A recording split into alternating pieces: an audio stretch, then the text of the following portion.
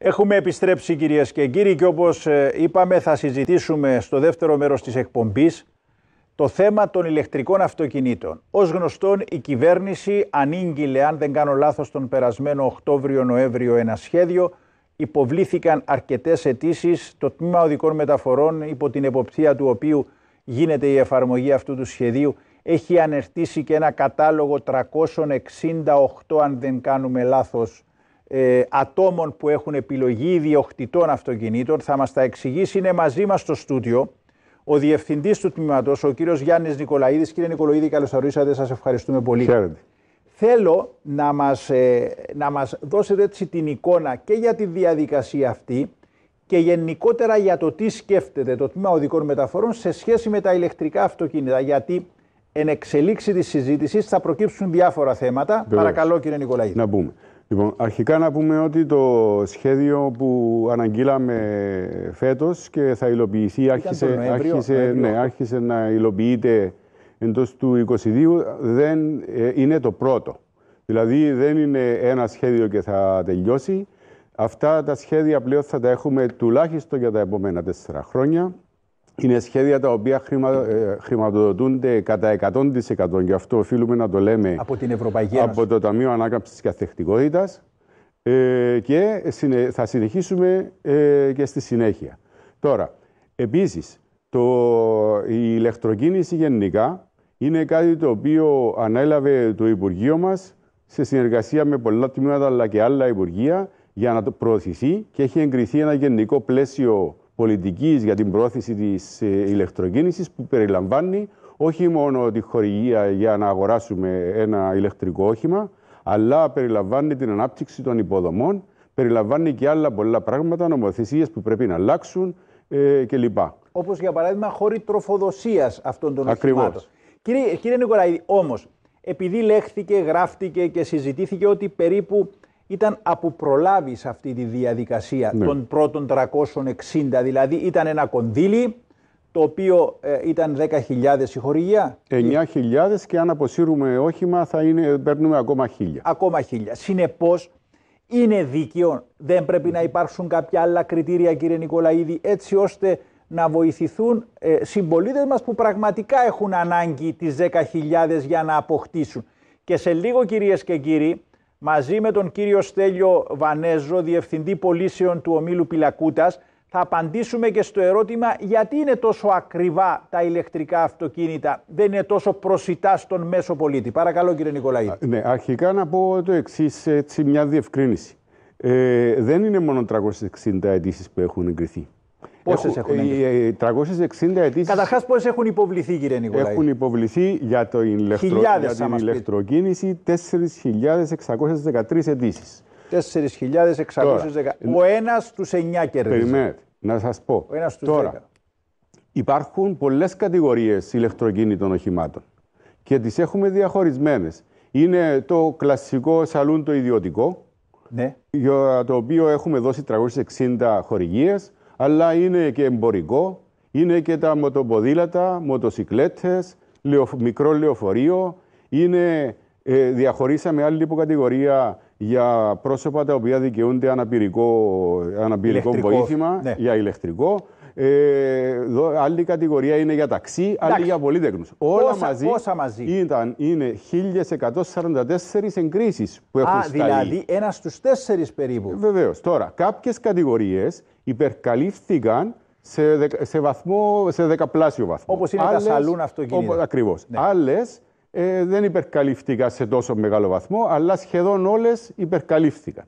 Τώρα, επιπρόσθετα, να πω ότι είχαμε τρέξει και ένα άλλο δεύτερο σχέδιο, σχέδιο απόσυρσης, Ναι, με, που αντικα- προηγήθηκε. με αντικατάσταση Με υβριδικό. υβριδικό όχημα αυτό που ονομάζεται plug-in, που μπαίνει Ναι. και, στην, και στην πρίζα και φορτίζεται μια μικρότερη μπαταρία. Και εκεί δόθηκαν άλλες 533 αιτήσεις για ένα σύνολο αιτήσεων περίπου 3.000, 359. Οπότε, ναι, ξεκινήσαμε αυτά τα σχέδια. Επαναλαμβάνω, δεν θα είναι. Τα... Δεν τελειώνουν. δεν τελειώνουν. Ε, θα, θα συνεχίσουμε και στη συνέχεια. Ξεκινήσαμε με ένα γενναίο, θα το έλεγα, ποσό χορηγίας, ακριβώς για τον λόγο ότι τουλάχιστον την περίοδο που περνάμε, η, η τιμή αυτού του ηλεκτρικού οχήματος είναι σχετικά ακριβή. Εδώ θέλω να πω ότι ναι, δεχτήκαμε κάποια μορφή κριτικής. Εντάξει, κα, ότι, καλοδεχούμενη είναι ότι, η κριτική. Ναι, δεν. Τι, ναι βεβαίως. Βεβαίως. Ναι. Εμείς πάντα τη βλέπουμε καλοδεχούμενη. Ε, ότι Μα τώρα αυτά τα αυτοκίνητα δεν είναι για κάποιον ο οποίος δεν είναι για του χαμηλού ε, εισοδήματος οικογένεια. Ναι, ναι δεν λοιπόν, είναι. Μάλιστα. Και, γι, αυτό, και λέμε, γι' αυτό θα έχουμε και την παρέμβαση ναι. των εγκαταστατών υγραεριοκίνησης. Που είναι άλλο θέμα. Που είναι άλλο θέμα. Ναι. Λοιπόν, τώρα, σε αυτό απαντήσαμε. Και λέμε ειλικρινά ότι Μα αυτό το σχέδιο δεν είναι σχέδιο κοινωνικής χορηγίας. Εντάξει. Τι είναι; Κύριε Νικολαίδη, θέλω να μου διευκρινίσετε κάτι. Εάν ένας από τους 368 των σαλούν αυτοκινήτων στο τέλος της ημέρας μετρήσει τα χρήματα του και δεν μπορεί να αγοράσει το αυτοκίνητο, θα αντικατασταθεί με κάποιον άλλον; Ναι. Υπάρχουν επιλαχόντες; Βεβαίως. Στην ανακοίνωση που έχουμε, αρχικά να σας πω ότι οι 1144 αιτητές που εγκρίθηκαν και οι άλλοι 533 που εγκρίθηκαν από το προηγούμενο μας ε, σχέδιο έχουν λάβει την αρχική επιστολή και τους καλούμε να πάνε να διαλέξουν ένα όχημα και να μας ενημερώσουν εντός δύο μηνών. Δύο μηνών από την ημέρα που στάληκε η επιστολή. Τώρα πρέπει να είναι καινούριο το όχημα, έτσι. Στην περίπτωση του υβριδικού plug πρέπει να είναι καινούριο. Στην ναι. περίπτωση όμως του ηλεκτρικού, Υπάρχει και η υποκατηγορία για τα μεταχειρισμένα οχήματα, τα ναι. οποία ε, εφόσον είναι τριών ετών, του 19 εγγραφή και μετά. Να πληρούν ε, κάποιες προποθέσει. Ναι. Λοιπόν, αλλά είναι με ένα χαμηλότερο ποσό. Τώρα, ε, στην ανακοίνωση που έχουμε βγάλει, έχουμε καταγράψει και τους επιλαχόντες. Και ποιος είναι ο επιλαχών; Ε, εκείνος που είναι ας, μετά το 368, δηλαδή το 369 στη σειρά, είναι ο πρώτος επιλαχών. Εδώ να δώσω μια πληροφορία που είναι σημαντική για τους ναι. επιλαχόντες και μας ρωτούν. Συνήθως δεν υλοποιούν όλοι. Για τους λόγους που είπατε. Πήγα, τέλος πάντων δεν μου άρεσαν αυτά τα οχήματα, ή ε, τελικά μου φάνηκαν πολύ ακριβά για οποιοδήποτε λόγο. Ε, περίπου, με βάση προηγούμενη εμπειρία που είχαμε, ένα 70 με 80% υλοποιεί.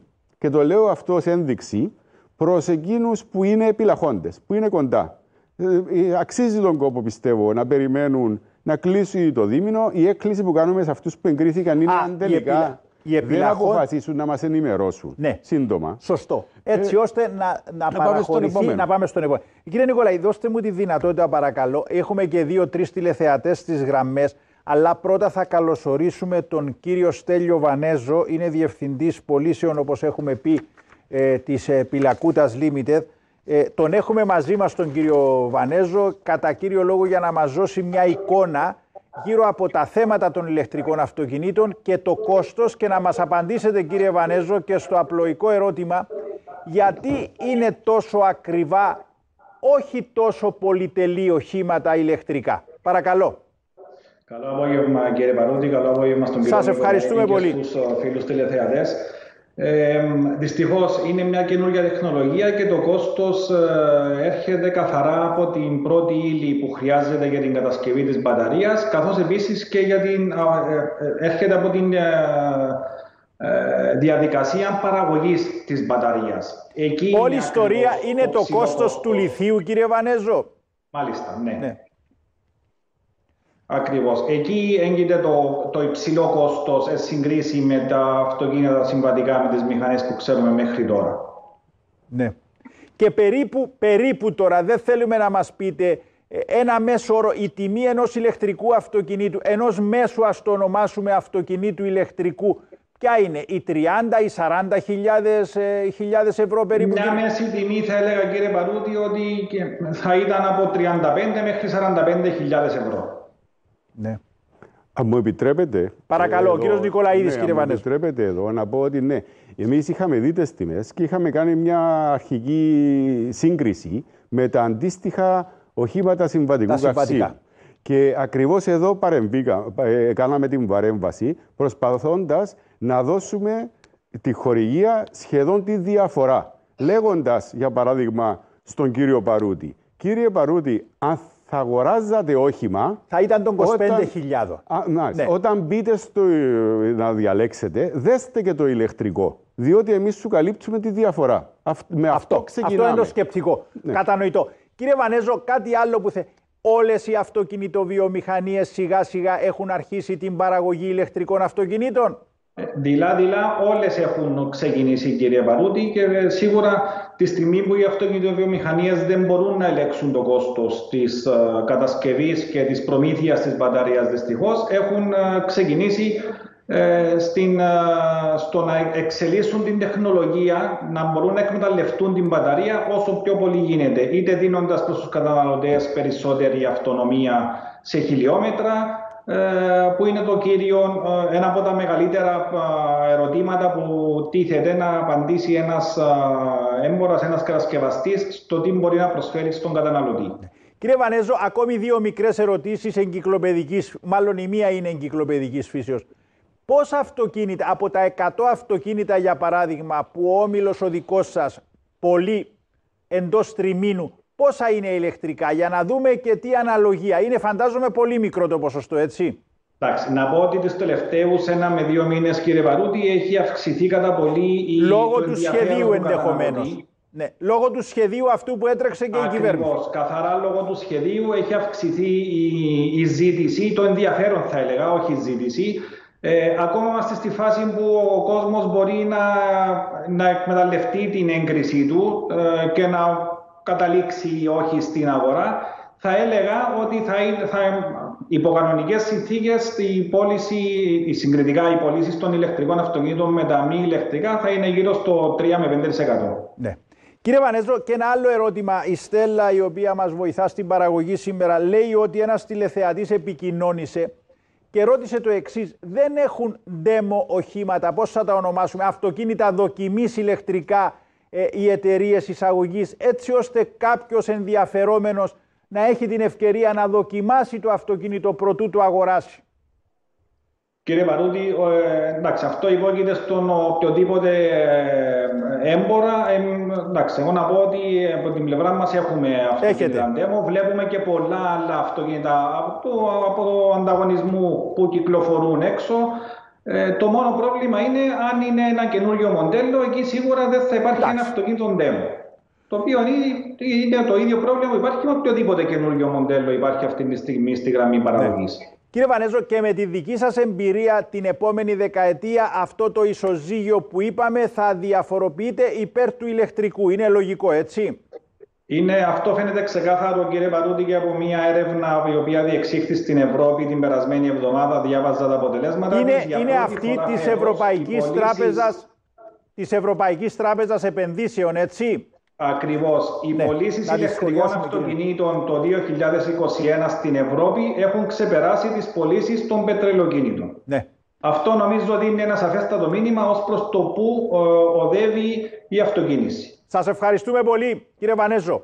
Ευχαριστώ πάρα πολύ. Να είστε καλά. Σε λίγο θα έχουμε και εκπρόσωπο των εγκαταστατών υγραεροκίνησης, αλλά να ακούσουμε τρεις τηλεθεατές κύριε Νικολαίδη και να σας δώσω και τη δυνατότητα ένα σχόλιο. Ο κύριος Σπύρος παρακαλώ από τη Λευκοσία. Κύριε Σπύρο καλό απόγευμα. Ναι, γεια σας. Με γεια σας κύριε Σπύρο, σας ακούμε. Καλό απόγευμα. Καλό απόγευμα. Ονομάζομαι Σπύρος Μιχαηλίδης. Ε, γεια σας κύριε Νικολαίδη. Έχουμε γνωριστεί. Εγώ είμαι ο Σπύρος Μιχαηλίδης. Είμαι ηλεκτρολόγος μηχανικός και ναι. διευθύνω εταιρεία εγκατάστασης φορτιστών για ηλεκτρικά αυτοκίνητα. Ναι. Και θα... Πολύ καλή εκπομπή καταρχήν. Να, αν μου επιτρέπετε, έτσι ένα γρήγορο σχόλιο για την ηλεκτροκίνηση και για την Κύπρο. Ε, γιατί υπάρχει έτσι πολύ ε, έλλειψη ε, γνώσεων ε, η έλλειψη πληροφόρησης και πολύ ευχαρίστως ε, να έχουμε την ευκαιρία να αναπτύξουμε το θέμα Ίσως μια άλλη φορά κύριε Μιχαηλίδη να μας δοθεί. Επί του θέματος τώρα παρακαλώ. Επί του θέματος σχετικά με, τα, με, τις επιχωρι... με τις χορηγίες που έδωσε η, το η κυβέρνηση. Με ευρωπαϊκά κονδύλια. Όντως, όντως είχα προσπαθήσει και εγώ ε, είμαι οδηγός ηλεκτρικού αυτοκινήτου, αλλά ήθελα να αγοράσω και εγώ έναν καινούριο και ήμουν στο σύστημα η ώρα 11 και ούτε εγώ έχω καταφέρει να, να, να εξασφαλίσω. Ο αριθμός μου εμένα ήταν το 647 και ήμουν πολύ γρήγορος, αλλά δεν επιρρύπτω την ευθύνη στο, στην υπηρεσία. Όντως, με στοιχεία που έχει ανακοινώσει το τμήμα, οι χρόνοι με τους οποίους εξασφάλισε ο κόσμος τους 460 αιτήσεις τις πρώτες όσον αφορά το ιδιωτικό, το σαλούν, το ιδιωτικό σαλούν ήταν στο ένα λεπτό και 30 δευτερόλεπτα και είχαν, ε, ε, ε, είχαν φύγει και οι 360. Εγώ Κύριε στο... Μιχαηλίδη, εάν ένας 60 ή 65χρονος που δεν είναι τόσο γρήγορος όσο ένα νεαρός στη χρήση ενός υπολογιστή δεν μπορούσε με τίποτα να καταφέρει αυτό το πράγμα, έτσι; Σίγουρα, να πούμε όμως επίσης για την... σίγουρα έχουμε κάθε προϊόν έχει τον αγοραστή του. Έναν λοιπόν. ακριβό τηλέφωνο των 1000 ευρώ δεν αποτείνεται σε κάποια συγκεκριμένη κατηγορία πολιτών, ανταποκρίνεται σε κάποια συγκεκριμένη πολιτεία με άλλη, άλλη κατηγορία. Δεν, δεν λέω ότι τα ηλεκτρικά αυτοκίνητα δεν αποτείνονται σου στους, ε, σε ηλικιωμένους. Σωστό, μάλλον, σωστό. Απλώς έχω πει τώρα για την ταχύτητα που πρέπει να έχει κάποιος με βάση το σχέδιο... Παίζει μόνο στην, δεν παίζει ρόλο, συγγνώμη να διακόψω, δεν παίζει ναι. η ταχύτητα του ατόμου. Του χρήστη. Ε, μπορεί να επηρεάζεται η ταχύτητα ακόμα και της σύνδεσή μας. Ναι. Δηλαδή, αν ήμασταν στο σπίτι, ήμασταν από το κινητό και προσπαθούσαμε μέσω διαδικτύου μέσω, ε, να, να κάνουμε αυτό το πράγμα. Ενώ κάποιος άλλος, ο οποίος ήταν συνδεδεμένος σε μια πιο γρήγορη σύνδεση, μπορεί πολύ πιο εύκολα σωστό. να εξασφαλίσει λοιπόν, το νούμερο. Κύριε Μιχαηλίδη, σας ευχαριστούμε πολύ. Θα τα σχολιάσουμε αυτά που έχουμε πει. Ο κύριος Πάνος και ο κύριος Άγγελος. Κύριε Πάνο, καλό απόγευμα. Καλησπέρα σας. Σας ακούμε. Ε, σχετικά με το θέμα της ταχύτητας, είμαστε, εντάξει, όχι εγώ ένας κόσμος, ένας από τους δικαιούχους. Α, εσείς, συγγνώμη. Κινητών, οπότε υπήρχε χρόνος αρκετό ναι. για πολλούς. Κύριε Πάνο, συγγνώμη, εσείς θα προχωρήσετε στην αγορά; Ε, ναι, αυτό λόγος που παίρνω είναι για μια διευκρίνηση που θέλω από τον κύριο Νικολαίδη. Παρακαλώ, σας ακούει. Ε, τα αυτοκίνητα πρέπει να είναι αμυγός ηλεκτρικά ή είναι και τα plug-in στις κατηγορίες ναι. που δικαιούνται. Λοιπόν, θα το σχολιάσουμε κύριε Πάνο, ευχαριστώ πολύ. Ε, ε και ο... Ναι, ναι, παρακαλώ κύριε ε, Πάνο.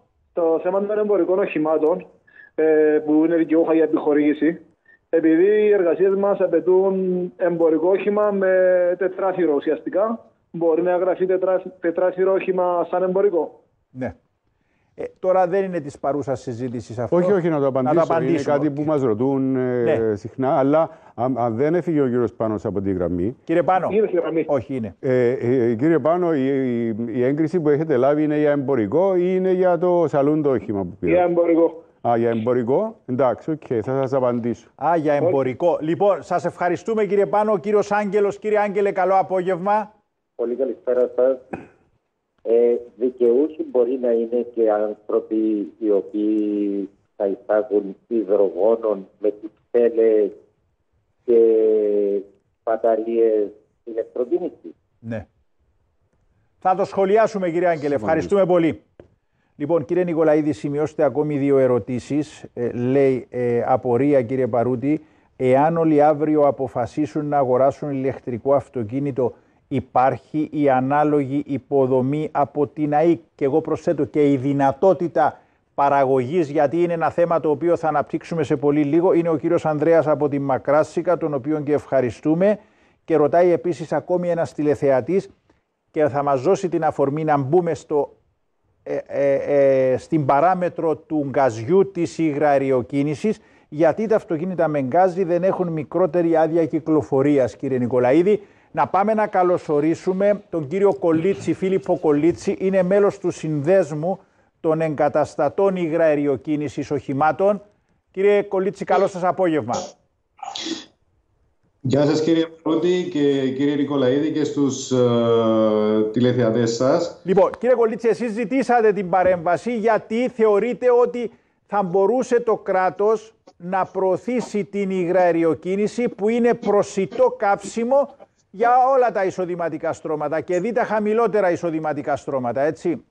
Ακριβώς ε, η υγραεροκίνηση απευθύνεται στους περισσότερους πολίτες όπου μπορούν το υφιστάμενο βενζινοκίνητο αυτοκίνητό τους με ένα κόστος κοντά στα 1000 ευρώ να γίνει μετατροπή ούτως ώστε άμεσα το αυτοκίνητο θα μπορεί να κινείται ε, πιο οικονομικά με 20% μείωση ε, στα CO2 με 60 και 70% μειώσεις ε, στα nitrogen oxides, particulates κλπ.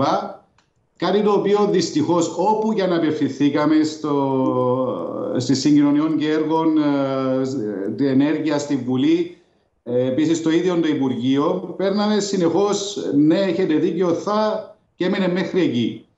Βλέπουμε ότι γίνεται ε, μια τεράστια προσπάθεια προώθησης του ηλεκτρικού αυτοκινήτου και κάπου ε, ένα θάψιμο της υγραριοκίνησης, η οποία είναι νόμιμη από το 2016 στην Κύπρο. Κατόπιν νομοθεσία. Ε, Θέλω να ρωτήσω κάτι κύριε Κολλίτση όμως. Θα μπορούσε να υποστηρίξει κάποιος ότι η ηλεκτροκίνηση είναι καθαρότερη ενέργεια από την υγραριοκίνηση; Όμως επειδή, επειδή έπεται σε λίγο ο κύριος Δημήτρης Παπαδάκης Ευρωβουλευτής και αφορμή αν θέλετε ξεκίνησε από την συζήτηση ότι για παράδειγμα στην Κύπρο για να κινηθεί ένα ηλεκτρικό αυτοκίνητο θα πρέπει να, να έχει ηλεκτρική ενέργεια η οποία ηλεκτρική ενέργεια παράγεται από την αρχή ηλεκτρισμού κατά κύριο λόγο με συμβατικούς τρόπους, με ορυκτά καύσιμα, με μαζούτ, με ντίζελ κλπ. Ως εκ, τούτε, ως εκ τούτου που ήσουν πουθενά, διότι πάλι γίνεται, υπάρχουν ρήποι για να έχουμε ηλεκτρική ενέργεια την οποία θα χρησιμοποιήσουμε για την κίνηση. Παρακαλώ. Λοιπόν, ε, καταρχάς από ό,τι διάβαζα νομίζω έχει πάει στα 98 εκατομμύρια το ότι πληρώνουμε ε, για το ότι παράγουμε ηλεκτρισμό με μαζούτ. Ε, είναι κάτι το οποίο ε, λένε ότι το, το ηλεκτρικό αυτοκίνητο δεν παράγει ρήπους. Ναι, το εξώς, επειδή δεν έχει εξώς το ηλεκτρικό αυτοκίνητο, ναι, δεν παράγει ρήπους. Παράγονται όμως στο Μαρί, δεν παράγονται σε κάποιο ναι. άλλη χώρα στο διάστημα. Εδώ το αναπνέουμε πάλι. Λοιπόν, και, και, θέλω να μου απαντήσετε κάτι, παρακαλώ, γιατί μας πιέζει λίγο χρόνος, κύριε Κολίτση.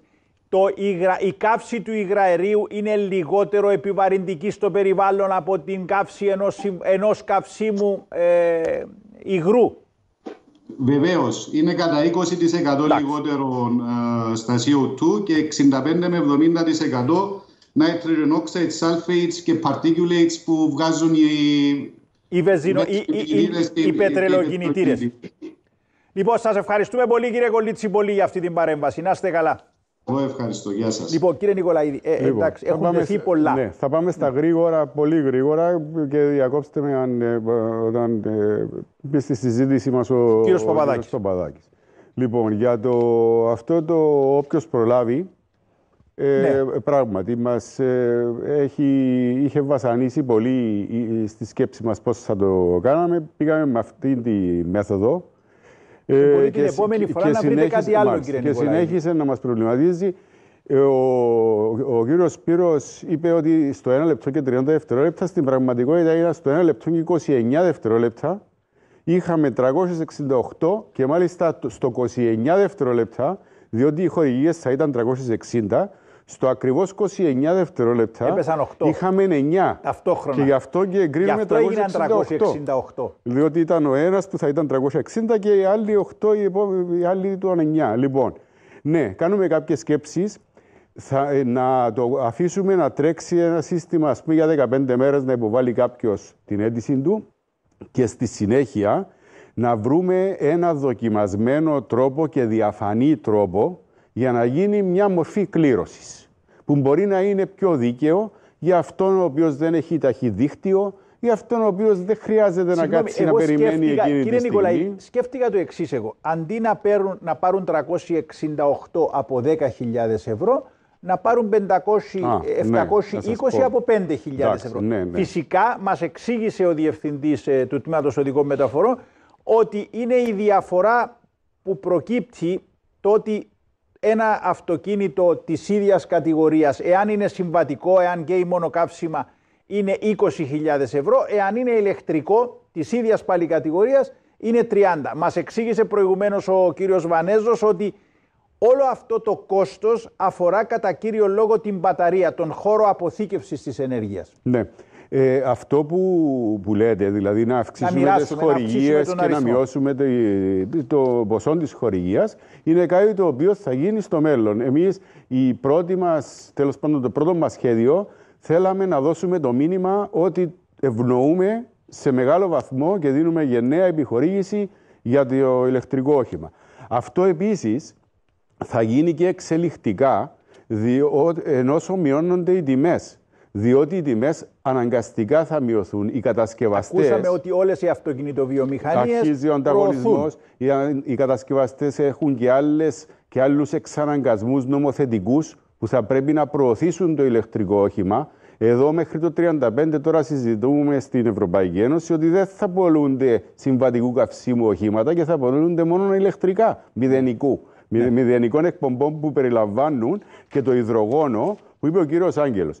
Ε, θεωρητικά, διότι είναι μηδενικών εκπομπών το, το υδρογονοκίνητο, θα μπορούσε να ενταχθεί στο σχέδιο. Στην πράξη έχουμε στην δεν υπάρχουν. Ε, στην πράξη και ούτε υποδομή υπάρχει για, για να παραχθεί υδρογόνο και να Οπότε είναι ακόμα στο θεωρητικό στάδιο αυτό το θέμα. Τώρα, πάω στο ερώτημα του κυρίου Πάνου αμυγός ηλεκτρικό πρέπει να είναι. Ναι, είναι ξεκάθαρο αυτό. Το σχέδιο, κύριε Πάνο, αφορά τα αμυγός ηλεκτρικά, όχι τα πλαγίν, όχι διότι τα πλαγίν, τα πλαγίν υβριδικά ήταν στο προηγούμενο ήταν σχέδιο απόσυρσης. Και δεν, και δεν περιλάμβαναν τα, ε, τα εμπορικά. Λοιπόν, τώρα, είναι αμυγός ηλεκτρικό, αλλά η λεπτομέρεια που ρωτάω ο κύριος Πάνος είναι για το κατά πόσο μπορεί να αγοράσει ένα όχημα τύπου σαλούν και να το μετατρέψει σε βαν. Σε βαν. Είναι αυτό που λέμε σαλούν τη ραϊβάν, είναι τα μικρά του ναι. πλασιέ που λέμε. Αν, αυτό δεν γίνεται. δεν γίνεται. Δεν γίνεται. Ε, εξάλλου και γι' αυτό δώσαμε 20.000 ευρώ για το για εμπορικό. διότι ναι. είναι πιο ακριβά. Το κατάλαβα. Ε, εκείνο το όχημα ε, είναι ε, ένα σαλούν όχημα το οποίο βγάζει κάποιος ε, καθίσματα πίσω και το μετατρέπει, για τους δικούς του λόγους. Και είναι και στο σχέδιο, κύριε Πάνο, διευκρινισμένο ότι πρέπει να είναι εκ κατασκευή κατηγορίας νη 1, που σημαίνει εμπορικό μέχρι 3.500 κιλά μειχτό βάρος. Λοιπόν, ο κύριος από τη Μακράστικα. Υποδομή. Αν μπορεί η αρχή ηλεκτρικού. Κύριε Νικολάη, επειδή κάποιος νομίζει ότι έχοντας ένα ηλεκτρικό αυτοκίνητο θα διακινείται δωρεάν, δεν είναι έτσι. Διότι υπάρχει κόστος ηλεκτρικής ενέργειας για να φορτιστεί ναι. ω ισορρευτή, ναι. έτσι; Αρχικά να πούμε ότι ο φυσικός χώρος φόρτισης ενός οχήματος, ιδιαίτερα του ιδιωτικού μας οχήματος. Τι κόστος θα έχει, για παράδειγμα. Ναι, να σας πω. Το, ο φυσικός χώρος φόρτισης είναι το σπίτι μας. Ναι. Εκεί που πάει να κοιμηθεί το όχημα όταν κοιμόμαστε και εμείς. Λοιπόν, παράλληλα φυσικά προωθούνται και οι υποδομές. Επιπρόσθετα, να κάνω μια παρέθεση που δεν είναι παρέθεση, είναι πάρα πολύ σημαντικό. Εκείνος που είναι εγκεκριμένος από εμάς καθίσταται αυτόματα δικαιούχος του σχεδίου των συναδέλφων της Υπηρεσίας Ενέργειας, του Υπουργείου Ενέργειας, για να λάβει τη χορηγία για τα φωτοβολταϊκά και για το σημείο φόρτισης. Ναι. Το ειδικό σημείο φόρτισης για το, ηλεκτροκίνητο. Έχει εξηγήσει ο κύριος Ρούσος μια φορά αυτό. Πάρα πολύ ναι. ωραία. Λοιπόν, ε, τώρα, υπολογίζεται ότι είναι περίπου στο 50% μέχρι ακόμα και περισσότερο. Αν είναι από, το φορτα... από φωτοβολταϊκά, τότε αν μας βγάζει το φωτοβολταϊκό μας είναι ουσιαστικά μηδέν. Αλλά και να μην είναι φωτοβολταϊκά και να το βάζουμε κανονικά στην πρίζα, ναι, είναι περίπου 50% πιο κάτω από το συμβατικό καύσιμο. Λοιπόν. Άρα γλιτώνουμε και εκεί, συν τα άλλα της συντήρησης κλπ. Ε, τώρα, για το περιβαλλοντικό θέμα. Η καύση που γίνεται στον κινητήρα εσωτερικής καύσης του αυτοκινήτου μας του συμβατικού καυσίμου δεν είναι στο σύνολο της τόσο αποτελεσματική όσο η καύση που γίνεται στον ηλεκτροπαγωγό σταθμό. Οπότε και εκεί, εκτός από το διοξίδιο του άνθρακα που γλιτώνουμε και πάλι γύρω στο 50%, αν είναι συμβατικού καυσίμου το, ο ηλεκτροπαραγωγός μας σταθμός. Επιπρόσθετα, Υπάρχουν και άλλα επιβλαβή αέρια, κύριε Νικολαίδη. Μάλιστα, ναι. να σας πω, όμως, ε, ε, ε, μέχρι τη στιγμή που χρησιμοποιούμε τη δυνατότητα του σταθμού, την υπερδυνατότητα, δηλαδή έτσι, που έτσι αλλιώς θα δούλευε ο σταθμός, τότε όσα αέρια εκπέμπονται στην περιοχή θα εκπέμπονται, αλλά δεν εκπέμπονται στις πόλεις. Ε, ναι. που, που είναι πιο επιβαρημένες από τους λεγόμενους ατμοσφαιρικούς ρήπους, δηλαδή τους ρήπους που αναπνέουμε εκείνη τη στιγμή που κυκλοφορεί το όχημα. Το διοξείδιο του άνθρακα δεν είναι ρήπος καθ' αυτό που χαλά την υγεία μας, είναι αυτό που προκαλεί το φαινόμενο του θερμοκηπίου. Και πάλι γλιτώνουμε όμως. Τα έχετε δει δηλαδή, κύριε Νικολαίδη, όλα αυτά, έτσι; Βεβαίως. Ε, κύριε Νικολαίδη, επειδή ακριβώς μας βάζετε και στο επόμενα, επόμενο υποθέμα που θέλουμε να συζητήσουμε με τον Ευρωβουλευτή. Διαβάζω μια ερώτηση και πάμε να καλωσορίσουμε τον κύριο Δημήτρη Παπαδάκη, βουλευτή του Σοσιαλιστικού, Ευρωπαϊκού Σοσιαλιστικού Κόμματος. Κύριε Παρούτη, μπορείτε να ρωτήσετε τον Διευθυντή του Τμήματος Οδικών Μεταφορών αν τα αυτοκίνητα τα οποία είναι με τέσσερις πόρτες αλλά εγγράφονται ως εμπορικά εμπίπτουν στην κατηγορία N1, στην κατηγορία του σχεδίου ΙΤΑ 13. Δεν τα καταλαβαίνω εγώ. Είναι, ακρι... είναι η απάντηση που δώσαμε, δώσαμε στον, κύριο, κύριο Ναι. Και μια άλλη, πρέπει επίσης τα αυτοκίνητα να είναι αμυγός ηλεκτρικά ή μπορούν να είναι hybrid πλακή. Το εξηγήσαμε αυτό, ε, αγαπητέ ε, φίλε. Αν είναι το σχέδιο ηλεκτροκίνησης, τότε είναι ναι. αμυγός ηλεκτρικά. Και λέει επίσης άλλη μια ερώτηση. Ο φιλοξενούμενος σας από το Υπουργείο Συγκοινωνιών παραδέχθηκε ότι οι χορηγίες για την αγορά ηλεκτροκίνητου οχήματος αφορούν τους πλούσιους. Γιατί τότε κάνουμε θέμα για τις λιμουντζίνες των κρατικών αξιωματούχων, αφού τώρα αγοράζει έμμεσα το κράτος. Λιμου... Δεν είναι λιμουζίνες, κύριε, για τους εκατομμυριούχους. Εντάξει. Λοιπόν, πάμε, κύριε Παπαδάκη. Καλό μεσημέρι, κύριε Παρούτη. Καλό, Καλό απόγευμα στην Κύπρο. Εσείς είστε μια ώρα πίσω εκεί στις Βρυξέλλες. Δικαίως μας λέτε καλό μεσημέρι. Λοιπόν, κύριε Παπαδάκη, παρακαλώ, το ε, ξεκίνησε ο κύριος Νικολαίδης να επιχειρηματολογεί επί του θέματος που θα ανοίξουμε μαζί. Λοιπόν, σας ναι, ακούμε. Κύριε ναι, κοιτάξτε κύριε Παρούτη, οι κάποιες επιφυλάξεις οι οποίες έχουν εκφραστεί δημοσίως από μέρους μου αφορούν με το ότι μέχρι σήμερα δυστυχώς η Κύπρος παράγει ενέργεια, ηλεκτρική ενέργεια από το μαζούτ. Καλώς αντιλαμβάνομαι τις προθέσεις για εξοικείωση με την ηλεκτροκίνηση κάτι το οποίο συμβαίνει και στην υπόλοιπη Ευρώπη αλλά αυτό για να μπορέσει να γίνει και να έχει και ε, απτά αποτελέσματα στην προστασία του περιβάλλοντος και στη μείωση των ρήπων θα πρέπει η ενέργειά μας να παράγεται από ανανεώσιμες πηγές ενέργειας. Δυστυχώς στην Κύπρο ακόμη μέχρι σήμερα εξακολουθούμε να παράγουμε ενέργεια 85%. Άρα αντιλαμβάνεστε η πρόθεση για αποτελεσματική προστασία του περιβάλλοντος δεν είναι δυνατόν παρά μόνο είναι μια φιλοδοξία. Γιατί για να προστατεύσουμε το περιβάλλον θα πρέπει να έχουμε την παραγωγή ενέργειας από τις ανανεώσιμες πηγές ενέργειας και μετά να χρησιμοποιηθούν και τα ηλεκτροκίνητα αυτοκίνητα. Θέλω να σας πω ότι υπάρχει και ένα πρόβλημα το οποίο δεν είναι κυπριακό φαινόμενο, είναι παγκόσμιο φαινόμενο που έχει να κάνει με τις αποδόσεις των ηλεκτροκίνητων αυτοκινήτων επιφυλάξεις που έχουν ακουστεί και από τους κατασκευαστές των αυτοκινήτων αλλά και από ειδικούς επιστήμονες οι οποίοι κρούν τον κόδωνα του κινδύνου και λένε ότι, για να γίνει απόσβεση του αυτοκινήτου ηλεκτροκίνησης χρειάζονται 7 χρόνια χρήσης του λόγω του υψηλού περιβαλλοντικού αποτυπώματος που χρειάζεται για, να, για τις μπαταρίες αυτών των αυτοκινήτων.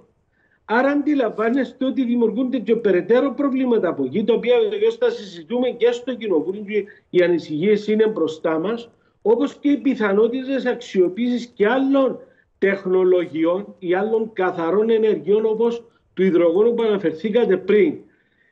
Αυτή τη στιγμή κυκλοφορούν αυτοκίνητα συνδυασμός ηλεκτρογίνης και υδρογόνου. Άρα περιμένουμε τα επόμενα, θα έλεγα, τρία με τέσσερα χρόνια φοβερές εξελίξεις στον τομέα της αυτοκίνησης σε σχέση με το τι καύσιμο ουσιαστικά θα χρησιμοποιείτε. Να σας πω... Κύριε Παπαδάκη, το... συγγνώμη, συγγνώμη, ένα λεπτό. Επειδή δεν μπορούν να αλλάξουν όλα από τη μια μέρα στην άλλη, το γεγονός ότι υπάρχει αυτή η συζήτηση και αυτή η υποπροώθηση, αν θέλετε, αλλαγή προς τα ηλεκτρικά αυτοκίνητα. Ο κύριος Νικολαίδης εδώ επικαλέστηκε μετρήσεις, είπε για στοιχεία ότι είναι σαφώς καλύτερο από το να κυκλοφορούν αυτοκίνητα με συμβατική καύση, με, με βεζινοκινητήρα ή πετρελοκινητήρα. Ε, αυτό θα ίσχυε κατά απόλυτον τρόπο εάν η ενέργεια η οποία παράγεται ήταν από ανανεώσιμες πηγές ενέργειας και καμία διαφωνία από αυτού. Ε, θα ήθελα να πληροφορηθώ τα στοιχεία τα οποία έχει ο κ. Νικολαίδης είτε η κυβέρνησή μας για να γνωρίζουμε περαιτέρω, αλλά ε, από τη στιγμή που χρειάζεται ε, το μαζούτ για να παραχθεί αυτή η ενέργεια για να κινηθεί αυτό το αυτοκίνητο, να αντιλαμβάνεστε ότι πλέον τα, τα περιθώρια ε, μειώνονται. Θέλω να σημειώσω κάτι είναι αυτό που ξέρετε να σας πω πολύ σημαντικό σε σχέση με αυτό που είπατε τώρα κύριε Μπαρούτη. Στις χώρες όπου επικρατούν υψηλές θερμοκρασίες η απόδοση της ηλεκτροκίνησης μειώνεται περίπου και 30%. Άρα ναι. αντιλαμβάνεστε ότι έχουμε απώλειες από αυτό το στοιχείο και δεν είναι μόνο όταν έχεις ψηλές θερμοκρασίες, αλλά ότι έχεις και πολύ χαμηλές θερμοκρασίες. Λοιπόν. Γιατί οι κατάλληλες θερμοκρασίες για την ηλεκτροκίνηση είναι περίπου στους 20 βαθμούς. Πέστε μου πόσες ημέρες το χρόνο στη χώρα μας, μιλώ για την Κύπρο, έχουμε θερμοκρασίες 20 βαθμών. Κύριε Παπαδάκη, εγώ θέλω να σας ρωτήσω κάτι και θα σας ευχαριστήσουμε. Ο κύριος ε, Νικολαίδης είπε προηγουμένως όμως, επικαλέστηκε το σχέδιο, το παράπλευρο σχέδιο της υπηρεσίας ενέργειας, όπου ένας ιδιοκτήτης ηλεκτρικού οχήματος μπορεί να επιδοτηθεί για την εγκατάσταση φωτοβολταϊκών, ε, φωτοβολταϊκού συστήματος για να φορτίζει το αυτοκίνητο. Αυτό ε, είναι καθαρό. Ε, το αντιλαμβάνομαι, το αντιλαμβάνομαι και το θεωρώ ότι είναι θετικό, αλλά μόνο για αυτούς οι οποίοι έχουν την οικονομική δυνατότητα. Ξέρετε, ένας από τους στόχους της Πράσινης Συμφωνίας τουλάχιστον μέσα στο Ευρωπαϊκό Κοινοβούλιο είναι να σμικριθούν οι αποστάσεις μεταξύ των τάξεων των πολιτών. Με αυτή την ε, αλλαγή πηγαίνουμε ολοένα να αυξάνεται, δηλαδή ο πλούσιος θα μπορεί να αγοράσει ηλεκτροκίνητο, θα μπορεί να εγκαταστήσει φωτοβολταϊκά, ενώ της μεσαίας τάξης ο φτωχότερος δεν θα του είναι εφικτή η ηλεκτροκίνηση με, τη, με τις προϋποθέσεις τις οποίες λοιπόν, ε, θέλουμε εμείς. Κύριε Παπαδάκη, σας ευχαριστούμε πολύ για την παρέμβαση. Κύριε Νικολαίδη, να σχολιάσει ο κύριος Νικολαίδης, ναι, παρακαλώ. Να πω ότι αυτά που είπε ο κύριος Παπαδάκης είναι, ε, είναι ε, θέματα τα οποία είναι παγκόσμια και ιδιαίτερα πανευρωπαϊκή με την έννοια της Ευρωπαϊκής Ένωσης συζήτηση. Είναι προβληματισμοί που τίθενται και συζητούμε και στις επιτροπές και, και μας απασχολούν όλους. Αλλά ε, ξέρετε, ε, χαρακτηρίζεται το θέμα της ηλεκτροκίνησης και των υποδομών, γενικότερα των υποδομών και του αν τώρα έχουμε μαζούτ καθαρό ή, ή θα πετύχουμε τους στόχους μας για εναλλακτικές πηγές ενέργειας κλπ. Χαρακτηρίζεται λοιπόν ως το κλασικό παράδειγμα του αυγού και κότας.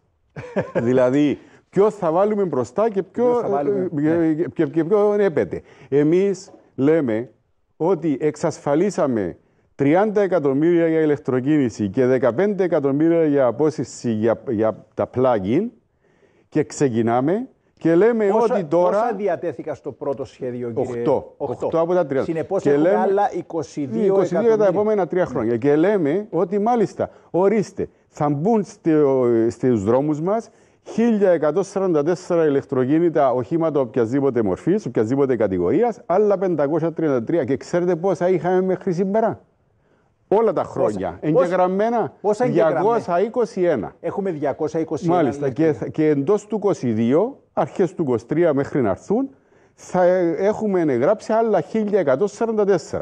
Ορίστε, αρχίζουμε να δημιουργούμε και το, ε, και το κίνητρο σε κάποιον να βάλει, ε, για παράδειγμα, στο μόλ του, στο σούπερ μάρκετ του, εκεί που υπάρχει δημόσια πρόσβαση, ένα σημείο ε, ακριβώς και εκεί να πηγαίνουμε με την κάρτα μας, να πληρώνουμε σίγουρα λιγότερα από ό,τι πληρώνουμε για βενζίνη. Στο πρατήριο βενζίνης. Και να το φορτίζουμε λοιπόν, ενώ, ενώ Κύριε Νικολαίδη, είναι πολύ ενδιαφέρον το θέμα. Θα το παρακολουθούμε, θα το επαναφέρουμε. Σας ευχαριστούμε πάρα πολύ για την, για την συζήτηση αυτή. Δεν του έχουμε εξαντλήσει κυρίες και κύριοι. Υπάρχουν και αρκετά μηνύματα και ηλεκτρονικά και υποθέτουμε και στο τηλεφωνικό κέντρο. Σας ευχαριστούμε πάρα πολύ κύριε Νικολαίδη και τους συμμετέχοντες στη συζήτηση και τους τηλεθεατές που πήραν τηλέφωνο.